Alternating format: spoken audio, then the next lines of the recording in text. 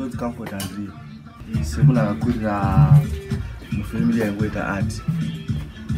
Ndakangozvitango ndichiri pachikoro ndichishanda namudhara wangu baba wangu naundibereki anonzi potfandri ndadaro ndakasvikawo pakupedza chikoro vanamboendera mberi ndichishanda navo tiri pamwe chete. Pavakaona kuti ndakukwanisawo kuweza pavandi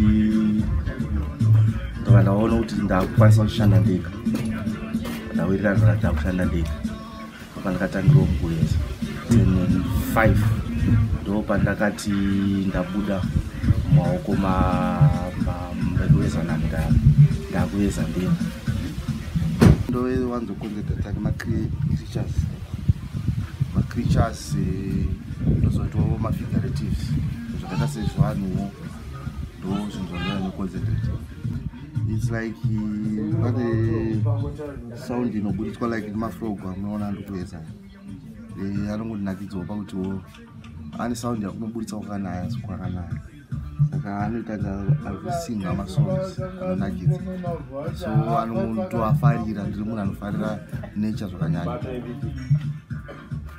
kozoti marabits ndoveza marabits zvakare. Ndoafarira pakuti through mafolktales ataitaurirwa rabit yairatidza semhuka yakatichangamukei so ndaangofarirawo concept iyi ini naminista weart ndechingofungwa kuti vanofanira kuti kuitawo kuti zveopen kumakastoma edu kuti akwanise kunge achiuya. Ende ati itorwe sekunge kana chinhu chichishipwa chisave chiri chinodhurira makastoma edu ndando maishizo anotaura kuti vakusangana nawo. Kuti havasi kwanisa kutibhadhira mari yakawanda nekuti vanozobvisa yakawanda pakushipa zvinhu nekuti zvibude munhu